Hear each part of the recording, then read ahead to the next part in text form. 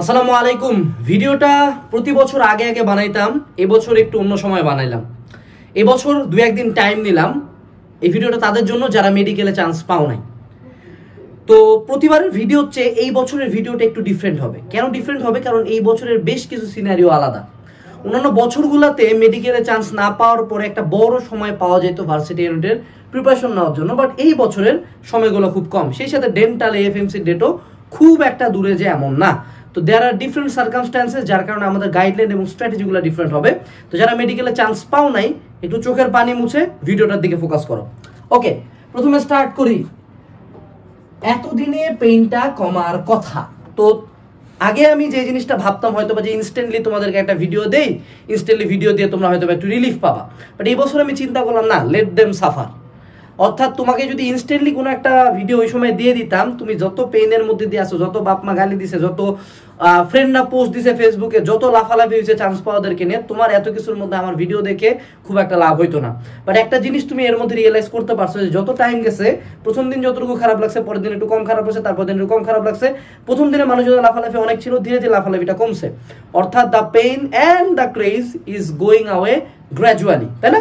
তো যেহেতু তুমি বুঝতেছো পেইনটা ধীরে ধীরে কমবে, অর্থাৎ বেশি না আফটার ওয়ান মান্থ এই কথা খেয়ালও থাকবে না। তখন আফসোস হবে যে অন্য কোনো প্রিপারেশন কেন দিইনি আফটার সিক্স মান্থ মেডিকেলে যে পরীক্ষা দিয়েছিলাম, এ কথাও খেয়াল থাকবে না, নতুন ভার্সিটিতে ভর্তি হয়ে যাব। আফটার ওয়ান ইয়ার মনে হবে, ছি মেডিকেলে নিয়ে প্যারা খেয়েছিলাম এককালে।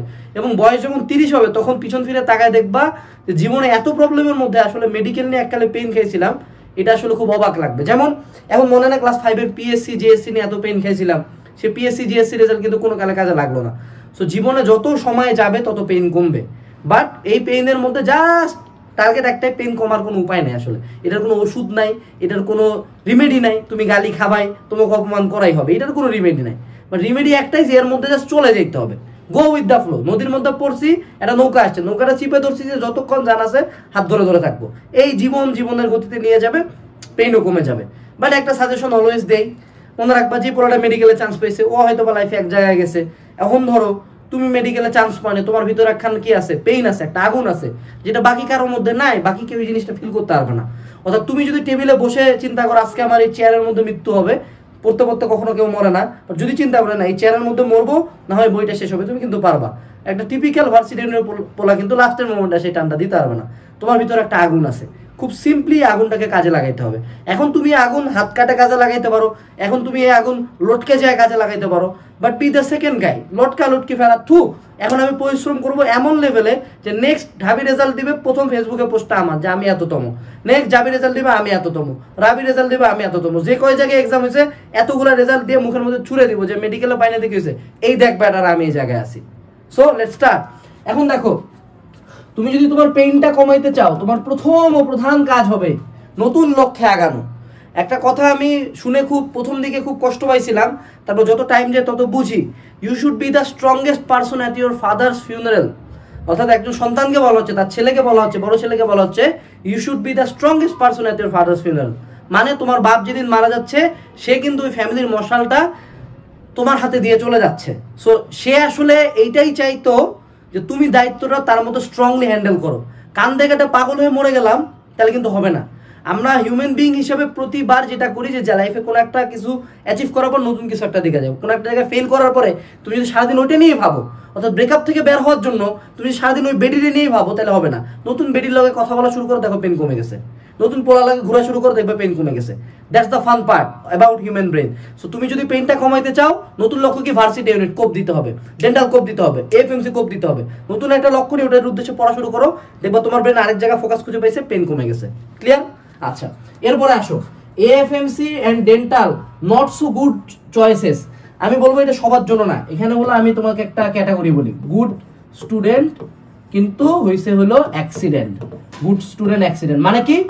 দেখো, এক টাইপের স্টুডেন্ট আছে, যারা ভালো স্টুডেন্ট ছিল মেডিকেলে চান্স পাওয়া শিওর ছিল, কিন্তু কোনো কারণে মিস্টেক হয়ে গেছে।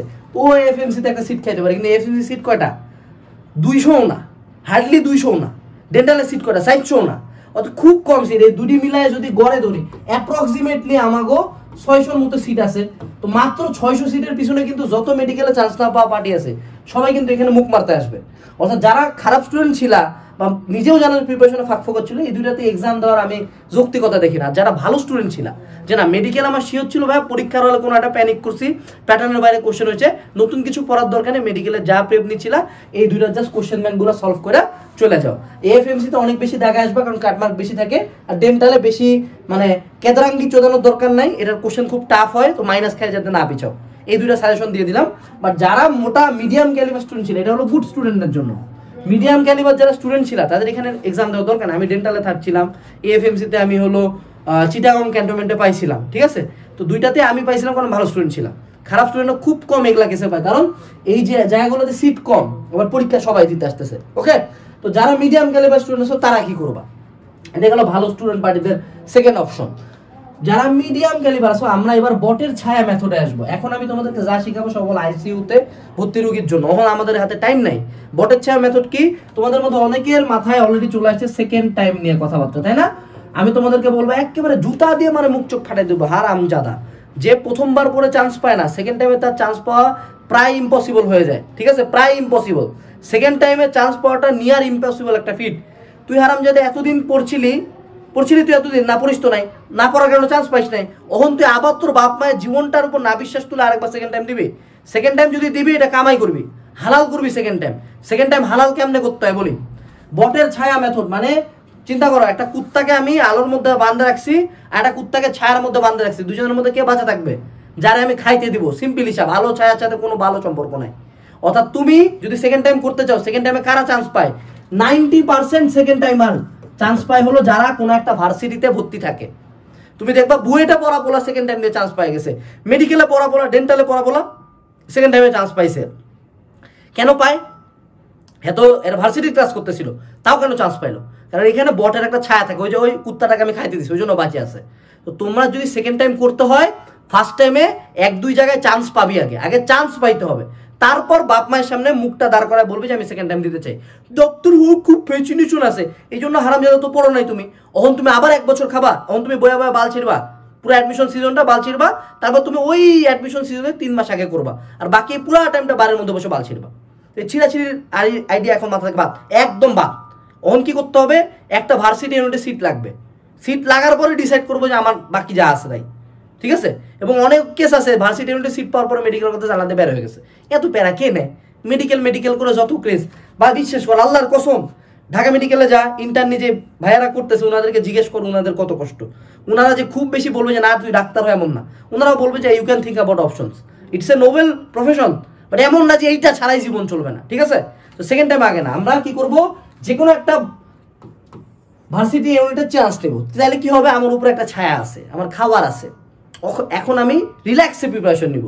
আর যে সেকেন্ড টাইম কোনো জায়গায় ভর্তি না হয়ে করবে, ও কিচ্ছু করব না। যে বাপ মায়ের টাকা মাইরা খাবে মায়েরা বাড়ির মধ্যে বয়ে থাকবে, বিভিন্ন জায়গায় ঘুরে টুরে বেড়াবে, নতুন তিন চারটা রিলেশন করবে, কিন্তু দিন শেষে পরীক্ষার তিন মাস আগে পড়া শুরু করবে। আগের বার যতটুকু পড়ছিল ফার্স্ট টাইমে যা পড়ছিল, তার হাফ পড়বে। একেবারে বুইরা বেটা, আবার চান্স পাবে না। এবার সেকেন্ড দুইবার সেকেন্ড টাইম যাওয়ার পরে হয় ন্যাশনাল না হয় প্রাইভেট তো don't be that piece of shit okay এখন আসি ভার্সিটি ইউনিটে কেমনে এখন চান্স পাওয়া যায়? কম সময়ে। আমি তো আজীবন বললাম যে তিন মাস আগে থেকে না পড়লে ভার্সিটি ইউনিট হবে না বাট আমি এখন একটু তোমাকে অন্য পথ দেখাই। আমি তোমাকে আজকে একটা শর্টকাট মেথড শিখাবো, যেমনি পড়লে ভার্সিটি ইউনিটে চান্স হান্ড্রেড পার্সেন্ট পাওয়া যতটুক টাইমে থাকো কারণ তুমি তো মানে বোকা চোদা না, তুমি তো আগে কিছু হইলেও পড়ছো। মানে মূর্খ না তো তুমি, তাই না? যে ম্যাথ কি এটা বুঝতেছি না। আগে কিছু হইলেও পড়ছো রাইট তো আমরা এখন যেটা করব ক্র্যাশ কোর্স মেথড বাজারের কোনো কোর্সে দেখ তুই একটা মাথার মধ্যে চিন্তা কর। ধর, এখন যদি আমি তোকে একটা কোর্সের ক্লাস দেই নিউটনীয় বলবিদ্যার উপর আঠারো ঘণ্টার ক্লাস দিয়ে রাখছি। বুঝছি এটা ঢাবিতে আসবে। তারপর ধর এবার আধুনিক পথ পদার্থবিজ্ঞানে তিরিশ ঘণ্টার ক্লাস দিচ্ছি তোর কি মনে হবে না যে এখন একটা রশি ঝুলে ঝুলে পড়ি? মনে হবে না এটা? কারণ একে তো কিছু পড়ি নাই টাইমই আছে হাতে এক মাসও নাই। ওখানে আমি তিরিশ ঘণ্টার ক্লাস করব। তুই কি করবি? সুন্দর মতো আমাদের ক্র্যাশ কোর্স নিবি। বাজারে আর কোনো শালার ক্র্যাশ কোর্সে এত গোছানো ভাবে নাই। আল্লাহর কসম, একদম গ্যারান্টি দিয়ে বলছি, এর চেয়ে ভালো ক্র্যাশ কোর্স নাই। শেষ। এখানে আমাদের কিছু অ্যাডমিশন ক্লাস আছে দেখবি। বাকি কোনো ক্লাস তোর দেখানোর দরকার নেই। অ্যাডমিশন ক্লাস নামে একটা সেগমেন্ট আছে, ওখানে চল্লিশ থেকে পঁয়তাল্লিশটা ক্লাস আছে হার্ডলি এক থেকে দেড় ঘণ্টা করে। হার্ডলি দুই দিন টাইম নিবি, এক বসাতে সব ক্লাস করা শেষ করবে। এখানে তো যা যা শর্টকাট লাগে ম্যাথ ফিজিক্স কেমিস্ট্রি বায়োলজিতে সব পড়াই দেবো। এই কাজটা করা যখন শেষ, এই কাজটা করতে হবে দুই দিনে। কয়দিন টাইম নিলে? দুই দিন। ম্যাক্স টাইম নিলে দুই থেকে চার দিন। এর বেশি না। বইয়া বইয়া নেটফ্লিক্স দেখিবা পারো ক্লাস দেখিবা পারো না, পারবা। এবার আসো। যে কোনো একটা কোশ্চেন ব্যাংক হইতে পারে এটা ঢাবি, তোমার যদি টার্গেট থাকে ঢাবি ঢাবি, যাবি যাবি, রাবি রাবি, চবি চবি জিএসটি হলো জিএসটি এগ্রি হলে এগ্রি যে কোনো একটা কোশ্চেন ব্যাংক নিবা। তারপর এই যে আমার দিকে, এই যে ক্যামেরার মধ্যে খোমার মধ্যে, চোখের মধ্যে তাকে বলব, এই বেটা, একটা কোশ্চেন দে কোশ্চেন ব্যাংক থেকে, মুখের উপরে মারা দিব কোশ্চেন ব্যাংক মানে এরকম একটা কনফিডেন্স থাকতে হবে যে এই কোশ্চেন ব্যাংক থেকে আল্লাহ বাদে আমাকে কেউ আটকানোর ক্ষমতা রাখে না। এরকম দক্ষতা আনতে হবে কোশ্চেন ব্যাংকটার উপরে। এবং সব থিওরি এখানে বলে দেওয়া আছে এবং ওই একটা কোশ্চেন ব্যাংক ভালো মতো করতে হবে। চাইলে চাইলে তুমি কোশ্চেন ব্যাংকের জায়গায় আমাদের অ্যানালাইসিস বই নিতে পারো। এটা হলো চ্যাপ্টার ওয়াইজ কোশ্চেন ব্যাংক সাল ওয়াইজ কোশ্চেন ব্যাংক করলে আউলা লাগতে পারে। চ্যাপ্টার ওয়াইজ পড়লে ইজি হবে কারণ তুমি একটা ক্লাস করবা কোশ্চেন ব্যাংক পড়ো। ক্লাস করবা কোশ্চেন ব্যাংক পড়বা। ঠিক আছে? একটা কোশ্চেন ব্যাংকের উপর বাপ হইতে হবে। এইবার আসো। টেন ডে চ্যালেঞ্জ তোমাদের মধ্যে যাদের অবস্থা আরও একান্ত খারাপ, কিচ্ছু পড়ি নাই শেষ মুহূর্তের জন্য। আমরা একটা নতুন বই আনছি। নতুন একটা প্রোগ্রাম এটা। এরকম তোমার কাছে চল্লিশ পঁয়তাল্লিশটা বই পাঠাই দিব। এখানে লেখা থাকবে day one day two day three কোন দিন কোন কোন বই পড়বা। এবং এই বইয়ের ভিতরে যা আছে, ইনশাল্লাহ এখান থেকে seventy two seventy five percent common আসবে। ইনশাল্লাহ, আমরা প্রতি পরীক্ষার পরে প্রমাণ নিয়ে হাজির হব।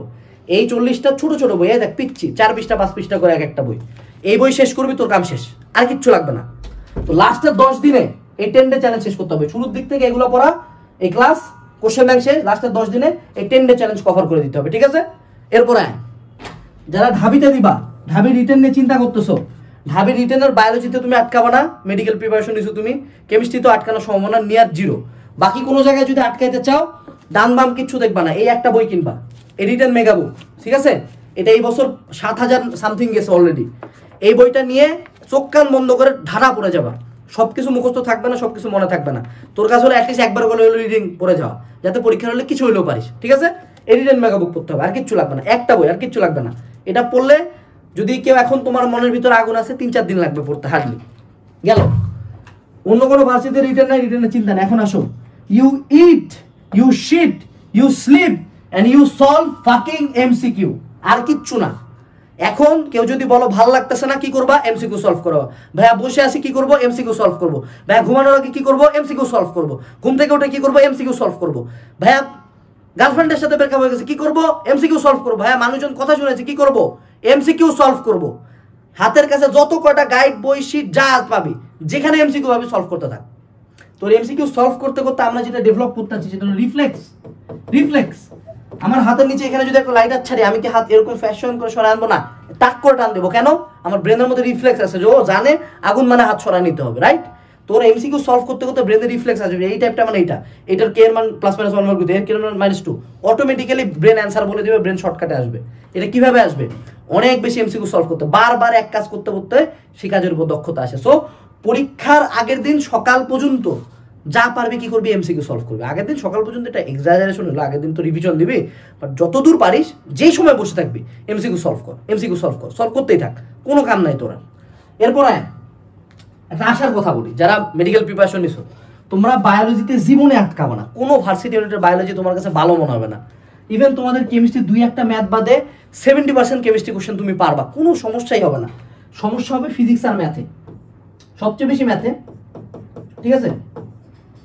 তো এই দুইটারই জাস্ট প্রিপারেশন নিতে হবে এই কয়েকদিন ওকে তো পারলে ক্লাসগুলো একটু কমাই দিতে পারো। ফিজিক্স ম্যাথের ক্লাস বাড়াই করতে পারো বায়োলজির ক্লাস করাদেরই দরকার নাই কেমিস্ট্রি একটু করলে করলা, না করলে নাই, ঠিক আছে? এরপরে আসো, চাইলে তুমি তোমার ফোর্থ সাবজেক্টের বদলে যেই বিশ্ববিদ্যালয়ে সুযোগ আছে, আবার বলতেছি, সব বিশ্ববিদ্যালয় এটা অ্যালাউ করতেছে না। যেই বিশ্ববিদ্যালয়ে সুযোগ আছে, সেই বিশ্ববিদ্যালয়ে তুমি চাইলে ইংলিশ দাগাইতে পারো, কিন্তু এটা তোমার মেডিকেলের ইংলিশ প্রিপারেশন দিয়ে হয়ে যাওয়ার কথা, কিন্তু ওই ভার্সিটির ইংলিশের লাস্ট দশ বারো বছরের অ্যাটলিস্ট কোশ্চেন সলভ করে যাও। তাহলে ইংলিশ পার হয়ে যাবা। কিন্তু আমি তোমার জায়গায় থাকলে, আমি তো আসলে মূর্খ না, আমি তো সায়েন্সের সাবজেক্টই বেশি পড়ছি। আমি তো অবশ্যই মানে ইংলিশ অত ভালো করি না, যেহেতু আমি মেডিকেলে চান্স না পাওয়া মাকুন না আমি অবশ্যই ইংলিশে অত বাপ না। তো আমি ট্রাই করি ফিজিক্স কেমিস্ট্রি ম্যাথ বায়োলজি দাগায় আসার জন্য। সো আসার ব্যাপার আছে। মনে রাখবা মেডিকেলে চান্স না পাওয়ার পরে দুই টাইপের স্টুডেন্ট আমরা পাই। এক টাইপের স্টুডেন্ট হলো বাস্টার্ড এদের কোনো ন্যূনতম লজ্জা নাই। ন্যূনতম কোনো ক্রেডিবিলিটি নিজের মধ্যে নেয় না। ন্যূনতম কোনো দায়ভার নেয় না যে এই দোষটা আমার। আমার বাপে এই করছে, আমার মায়ে এই করছে, সাংবাদিক এই করছে, আমার পরীক্ষার হলে এই ভালো হয়েছিল না। দায়ভার কি চান্স পাইনি। পড়ি নাই, পরিশ্রম কম করেছি চান্স পাই নাই, ভাগ্যে ছিল না। এবার কি হবে? নেক্সট টাইম দেখা দিতে হবে।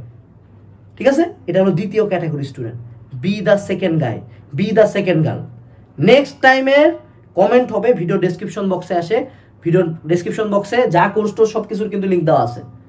কিন্তু নেক্সট টাইম চান্স পাওয়ার পরে কমেন্ট হবে, ভাই, আপনার ভিডিও দেখছিলাম তারপর ফোন অফ করছি, পড়ছি চান্স পাইছি আজকে এই যে এততম হয়েছি এই কমেন্টটা করা চাই, পোলাপান। টাটা।